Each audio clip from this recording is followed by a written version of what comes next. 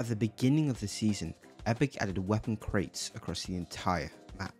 And in today's video, I can only use weapons I get from these crates. Why are there so many people landing here? It's no, it doesn't make sense unless these are all bots.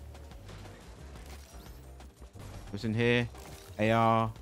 Okay, I got like a full loadout already. I can use all of this stuff. Let's go. Flashback.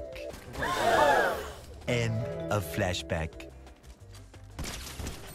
Whoa, Knocked one. I'm gonna like that. Dead. Thank you. Nice. That's ooh, sniper. Dead. Oh shit. That's the thing. Eldol never dies. I'm a Tekken Blade. 110 and one. You see the bullet projectiles makes it so easy to see where they're shooting from. Oh, they're still up there. Oof. Oof. Oof. Let's go. Oh my god.